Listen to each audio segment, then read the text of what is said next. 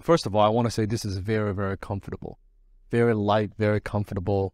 Uh, the material it feels it looks heavy, but it's actually probably one of the lightest suits out of all the suits that I, I've been trying today. So I love the story, love the material, and how many people have this in the world? Not many. Maybe less, maybe less than a dozen. Really, I mean, we've made a couple, but it's like it's so exquisite and so exclusive.